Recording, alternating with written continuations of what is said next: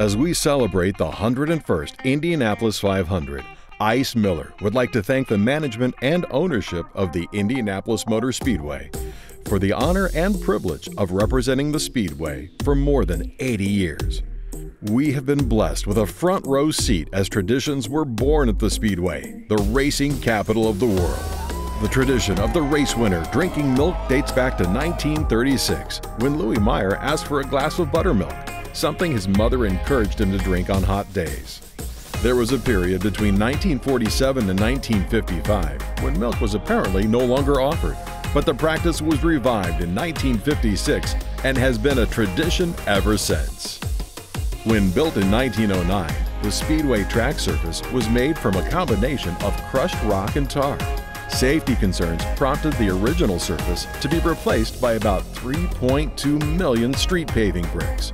Over the years, patches of asphalt were poured on the track to cover rougher portions. Track renovations in October 1961 covered all but three feet of bricks, situated at the start finish line. The tradition of kissing the bricks was started by NASCAR champion Dale Jarrett after his 1996 Brickyard 400 victory when he and his crew chief decided to walk out to the start finish line, kneel, and kiss the yard of bricks to pay tribute to the fabled history of the Indianapolis Motor Speedway. Another Indianapolis tradition was born.